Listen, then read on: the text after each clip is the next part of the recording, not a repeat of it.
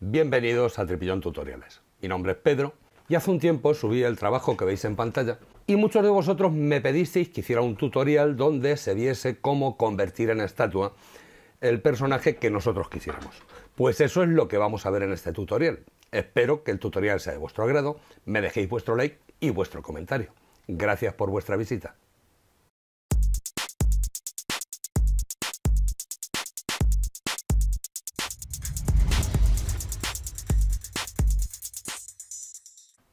Vamos a partir de esta imagen que tenemos aquí y de esta otra para conseguir llegar a este resultado que veíamos en la miniatura del vídeo. Desactivo el grupo de desarrollo, puesto que ya no nos va a hacer falta. Y tenemos aquí dos imágenes, modelo y busto. La imagen busto os dejaré el enlace de descarga en la caja de descripción del vídeo abajo para que podáis crear vuestro propio montaje con la fotografía que más os acomode y que más os guste a vosotros. Dicho esto, vamos a empezar con el tutorial. Pulso la tecla Alt y arrastro la capa busto arriba para usarla como capa base de eh, lo que vamos a hacer. La renombro como fondo y ahora desactivo el ojo de la capa y nos situamos sobre la capa modelo lo que vamos a hacer es seleccionar la parte de la cara que nos interesa para trabajar. Cojo la herramienta lazo viniendo aquí o pulsando L y hago una selección de la zona que más nos interesa. No debe preocuparnos la selección porque después trabajaremos con máscara de capa y iremos corrigiendo. Si nos falta seleccionar algo, pulsamos mayúsculas y podemos añadir la selección que queramos. Una vez lo tengo, nos venimos a edición, copiar o pulsamos control C, me sitúo de nuevo en la capa fondo, ya puedo cerrar el grupo recursos, ya no me va a hacer falta, y me vengo a edición, pegar o control V. Ahora voy a bajar la opacidad de la capa a un 50 aproximadamente para que podamos ver eh, la capa de fondo y colocarla debidamente. Pulsando control la puedo arrastrar, ya tengo los ojos colocados y ahora como vemos las bocas no coinciden, nos venimos a edición, transformación libre o pulsamos control T y pulsando alt más mayúsculas al mismo tiempo que movemos el nodo de la esquina, vamos reduciendo la imagen sin que pierda la proporción. La colocamos aproximadamente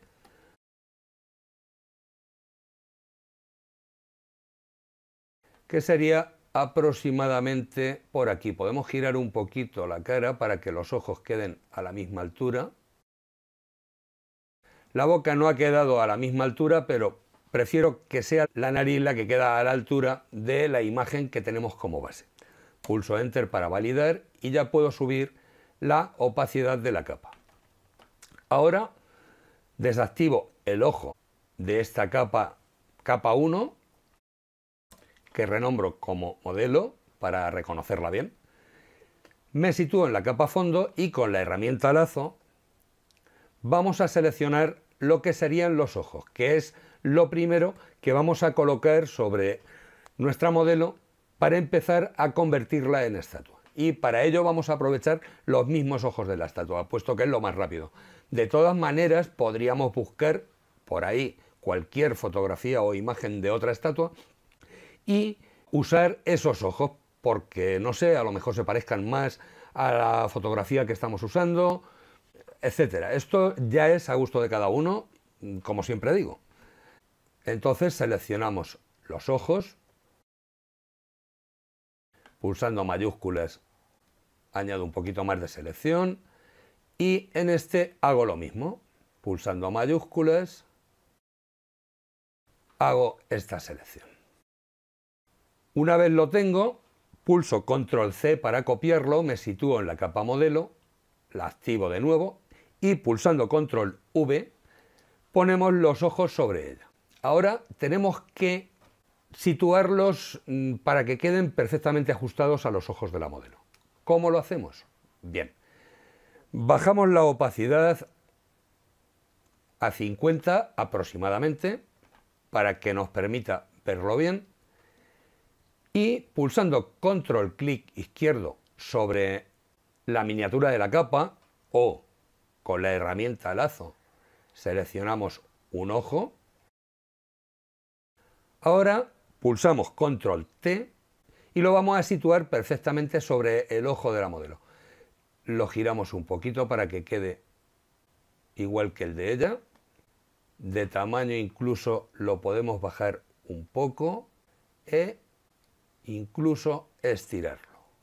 De tal manera que lo que estamos haciendo es aprovechar el ojo de la estatua, pero lo adaptamos al ojo de nuestra modelo y siendo el mismo ojo conseguimos que tenga la forma del ojo que vamos a, a tapar. Pulso Enter para validar, vengo a selección, deseleccionar o pulso Control D y ahora hacemos lo mismo con el otro ojo. Con botón derecho dentro de la transformación libre nos aparece este menú, le damos a deformar y podemos incluso ajustarlo perfectamente. Pulso Enter para validar y Control D para deseleccionar. Ya podemos subir la opacidad de la capa. Y ahora voy a añadir una máscara de capa aquí abajo en la paleta de capas. Cojo la herramienta pincel aquí o pulso B y con un pincel redondo, cualquiera de estos con bordes suaves, vamos a ir suavizando los bordes de los ojos. Aquí, como veis, nos saca la, ceja de, ella, pero no, no nos tiene que preocupar. Esto es algo que vamos a corregir ahora después, ya veréis cómo. Entonces, seguimos ocultando parte de los ojos. Para ello estoy usando el color negro como color frontal. Si no tuvierais los colores por defecto, pulsáis aquí y para poner el color negro le dais aquí. O pulsáis D para tener colores por defecto y X para cambiar entre ellos. Poco a poco los voy fusionando. Reduzco el tamaño del pincel para trabajar en el centro y quitar todo lo que sería esta zona de aquí y conseguir tener la misma distancia. Ya tenemos los ojos prácticamente fusionados, no están para nada terminados, lógicamente, pero poco a poco iréis viendo cómo se van fusionando por completo y va quedando el resultado que veíamos al principio del vídeo. Ahora nos situamos en la capa de la modelo, añadimos una máscara de capa aquí abajo en la paleta de capas. Vamos a reducir el tamaño del lienzo para ver mejor lo que estamos haciendo. Y lo que vamos a hacer en esta máscara de capa es ocultar las zonas de la cara que no nos interesan, conservando únicamente los rasgos principales que son los que, mm, digamos, hacen que se vea a la persona que estamos convirtiendo en piedra. Dicho esto, voy a empezar con ello. Con la herramienta pincel y color negro empiezo a ocultar.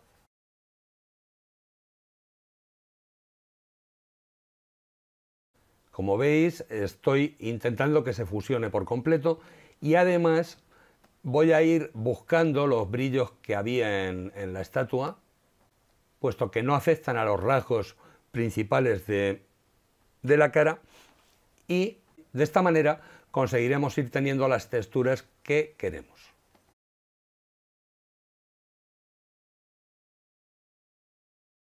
La frente, puesto que no nos aporta nada, la puedo quitar prácticamente entera y además conseguimos que se oculten esas cejas que veíamos antes que nos habían quedado al trabajar con los ojos.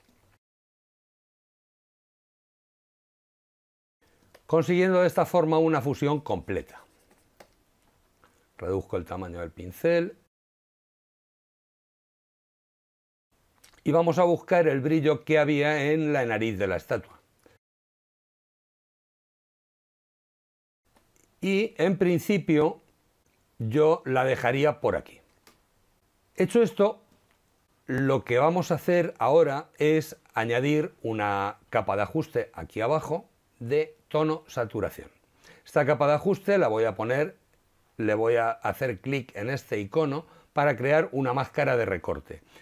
¿Qué es lo que hacemos al crear la máscara de recorte? Bien, pues lo que hacemos es que el ajuste va a afectar únicamente a la capa que tenemos debajo. O lo que es lo mismo, la capa de abajo enmascara el ajuste que estamos haciendo, de manera que solamente está afectando a lo que es el contenido de la capa modelo. Sé que es un poco lioso, pero el concepto es bastante sencillo una vez que se ha probado y se ha trabajado con él. Una vez estamos aquí, vamos a poner la capa de ajuste en modo de fusión color. Antes de empezar a hacer nada, marcamos la casilla colorear y Vamos a buscar un tono acorde 38, mm, puede estar bien, pero le tenemos que bajar un poquito la saturación, hasta 21 más o menos. Aunque queda un poco oscura toda la zona que hemos, que hemos dejado, no nos debe preocupar porque ahora después la iremos recuperando.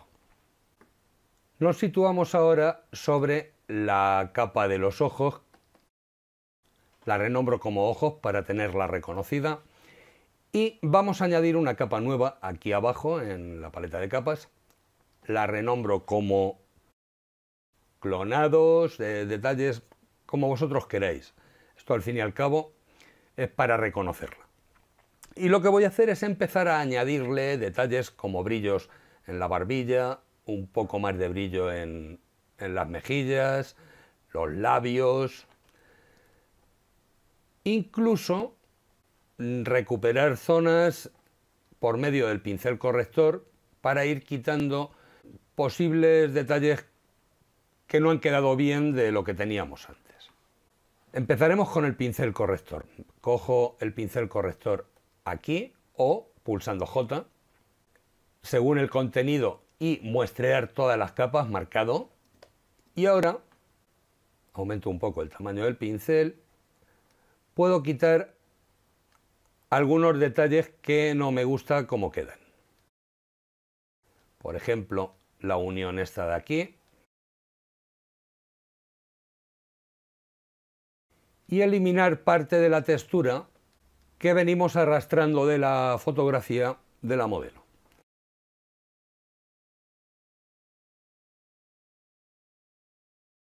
En los labios igual podemos quitar estas rayas que delatan los labios de la foto cuando realmente deberían de estar eh, completamente lisos.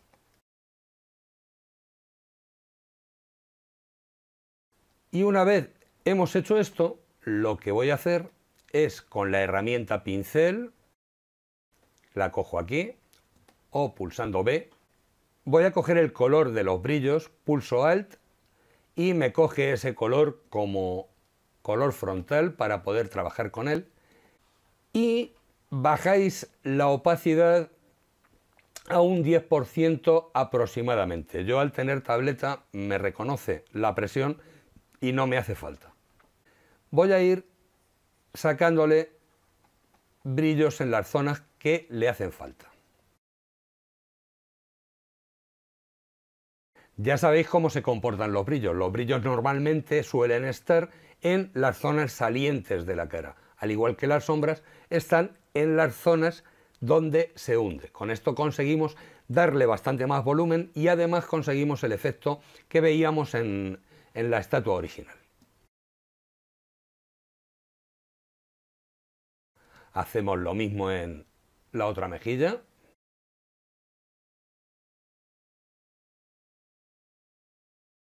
Abajo en la barbilla. Y no os dé miedo usar el pincel.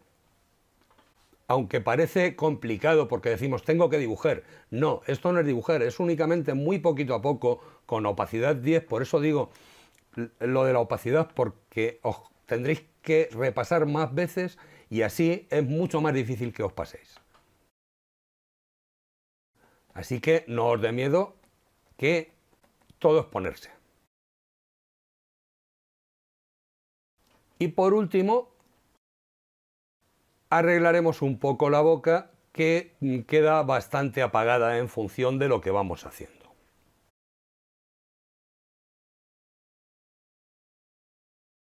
Y como veis, únicamente le estoy sacando detalles, perfilando y poco más.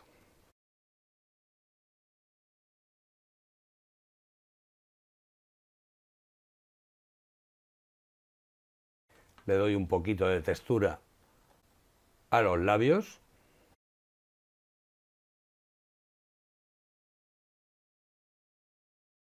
Como veis ya hemos conseguido tener la cara prácticamente convertida en estatua. Pueden faltar algunos retoques, pero eh, no quiero entretenerme mucho tampoco. La técnica ya la estáis viendo. Y mm, ahora de momento lo que ya vamos a hacer es ir haciendo ajustes de color hasta conseguir que la cara, que ha quedado bastante plana, se vea igual que el resto de la estatua. Con esos tonos anaranjados, zonas más blancas, un pelín más contrastada, pero bueno, lo vemos ahora mismo. El primer ajuste que vamos a hacer es un ajuste de curva. Pero antes de hacer el ajuste de curvas, lo que hago es cargar la selección de lo que sería la cara o incluso cojo la herramienta lazo, pulso L para cogerla y voy a seleccionar todo lo que es esta zona. Con botón derecho dentro de la selección me voy a ir a desvanecer y le voy a dar un radio aproximado de 20 píxeles. Una vez he hecho esto, vengo aquí abajo, añadir capa de ajuste de curvas. Y aquí lo que voy a hacer es recortar los negros, arrastro el regulador de negros hacia la derecha hasta llegar a la curva, más o menos, y voy a recortar también en blancos, lo mismo, lo cierro hasta llegar a la curva. Como veis, ya estamos consiguiendo un contraste donde mm, estamos igualando la luminosidad que había en la estatua con lo nuevo que llevamos hecho. Como el contraste es demasiado duro, pues lo que hacemos es quitarle un poquito, creamos un punto en tonos medios y lo podemos subir un poco hacia arriba de manera que no se vean los negros tan oscuros como se veían. Una vez hecho el ajuste de curvas, si nos fijamos, tenemos la cara con, algo más de saturación del resto de lo que sería la imagen. Bien, cargo la selección que hemos creado hace un rato aquí en la miniatura de la máscara de capa de la capa de ajuste de curvas y vengo aquí abajo y añado una capa de ajuste de intensidad. Aquí vamos a quitar intensidad de esa saturación hasta menos 53 y le subimos un poquito la saturación hasta 30 aproximadamente. Como veis, si desactivo el ojo, estaba bastante más saturada y ahora sin embargo ha quedado bastante más acorde a lo que es el resto de la imagen. Por último, lo que vamos a hacer es, en todas estas zonas que han quedado sin apenas tonalidad, si las comparamos con las zonas de aquí de la mano, vemos que son grises cuando estas son naranjas. Bueno, pues me sitúo en la capa clonados porque la quiero crear por debajo de los otros dos ajustes. Podría crearse por encima también, pero de esta manera vamos a ver el resultado con los ajustes que hemos hecho al resto de la imagen. Vengo a añadir capa de ajuste, corrección selectiva. El ajuste lo vamos a hacer relativo, no absoluto, y nos vamos a venir al canal de neutros para afectar precisamente a lo que son las zonas grises. Nos llevamos el cian hacia la izquierda, que veis que la imagen va tomando tonalidades naranjas, y quizá subir un poquito de amarillo. Vale. Hecho esto, vamos a rellenar la máscara de capa de negro para ocultarlo todo. Venimos a edición, rellenar. Le decimos en esta pestaña negro. Ok, lo hemos ocultado todo. Y ahora pulso B para coger la herramienta pincel, aumento un poco el tamaño del pincel y como dije antes, una opacidad del 10%. Yo en mi caso no la voy a bajar, pero os conviene bajarla para trabajar poquito a poco. Y color blanco como color frontal voy a empezar a recuperar el ajuste que acabo de hacer en estas zonas. ¿Veis? Empieza a aparecer la textura con un color muy similar a este. En caso de que viésemos que es demasiado, podemos volver a ajustar de nuevo en la paleta de propiedades.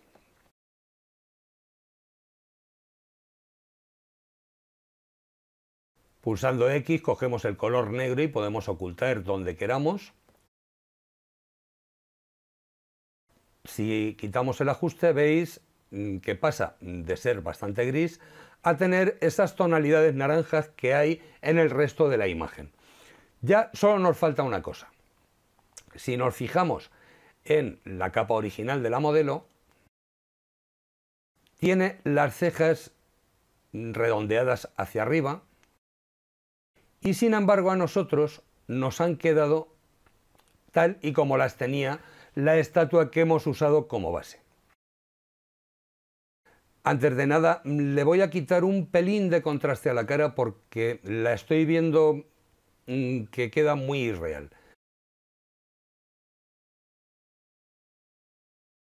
Esto es lo que teníamos y así es como la dejo, que queda mucho más suave y más acorde a lo que es lo que estamos haciendo. Como veis, el trabajo no consiste en dar estos son los valores que tenéis que usar. Consiste en ir trabajando y en función de lo que te pida la imagen vais haciendo. Sé que al principio puede costar un poquito, pero de verdad os lo digo que según vayáis eh, eh, trabajando, es algo que se adquiere con la práctica y que seguro que todos vosotros vais a conseguir. Por último, como decía, vamos a arreglar las cejas. Me sitúo en el último ajuste que hemos hecho, voy a crear una capa nueva y para crear una combinada de todo lo que vemos, me vengo a imagen, aplicar imagen, lo dejamos tal y como está por defecto y damos OK. Ya tenemos aquí una combinada de todo lo que vemos. Esta la voy a renombrar como liquer. ¿Por qué? Pues fácil, porque me voy a venir a filtro, liquer. Y aquí vamos a acercarnos un poquito. Hago un pequeño inciso. Podéis ver a la derecha una de las novedades que han venido ahora, que sería el poder ajustar todos los rasgos de la cara desde aquí, desde el tamaño del ojo, a la altura del ojo, ancho, bueno, en fin, es cosa de que le echéis un vistazo porque es muy, muy intuitivo, muy sencillo de usar. Tenemos ojos, nariz, boca, forma de la cara, aparte de todas las opciones que teníamos anteriormente. Únicamente podemos incluso marcando en este icono de aquí, como veis, nos van apareciendo unos nodos, únicamente habría que tirar de ellos, pero como os digo, es a, modo de curiosidad y que sepáis que es una de las cosas que han salido nuevas y por las que merece mucho la pena actualizar, porque para mí es una de las mejores mejoras que han hecho hasta ahora, valga la redundancia. Vuelvo a coger el icono de aquí arriba para licuar y ahora con un tamaño de pincel aproximadamente como el que vemos, lo único que voy a hacer es ir subiendo poco a poco subiendo la ceja y dándole el redondeado para que sea ese rasgo que tenía la, cara de la modelo y se pueda reconocer también aquí.